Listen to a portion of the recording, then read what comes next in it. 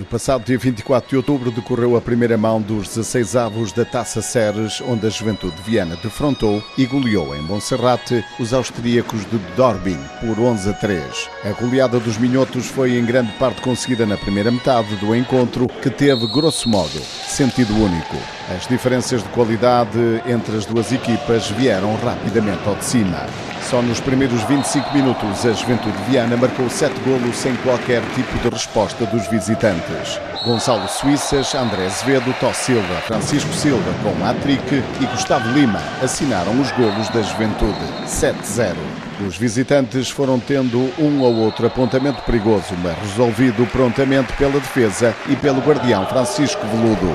Quer na primeira, quer na segunda metade, o Dorbin ainda ganhou por minutos um pouco de oxigênio. No entanto, sem nunca pôr em causa a supremacia vianense.